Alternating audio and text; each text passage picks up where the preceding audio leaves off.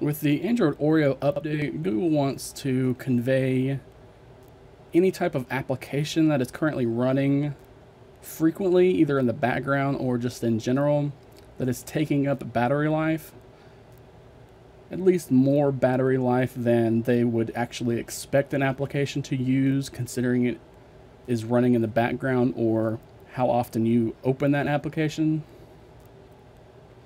So with the Oreo update, they added a new notification.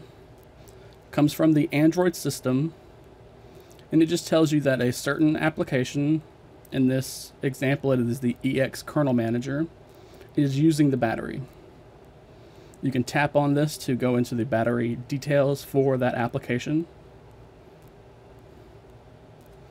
Normally with notifications, we know especially in this case for a kernel manager, we know the application is going to be running in the background to monitor and work with the kernel.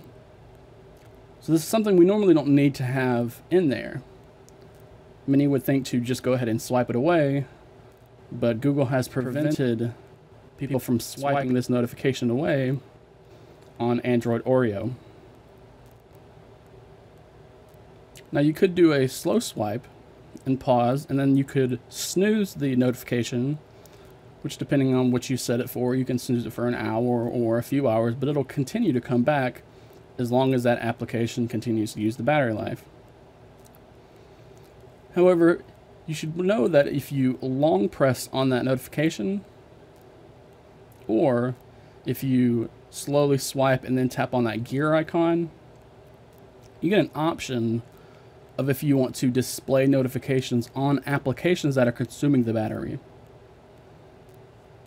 So again, we just want to long press on that notification or do a slow swipe and pause and then tap the gear icon.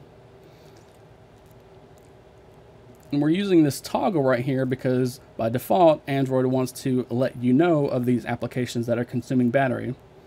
Since we know this already, we can just tap on this It'll tell us that we will not get these notifications anymore. And then we can just tap on the done option right there. Now you'll see the notification shade go away. That notification will be gone. And now you will no longer receive those notifications about that application using up battery.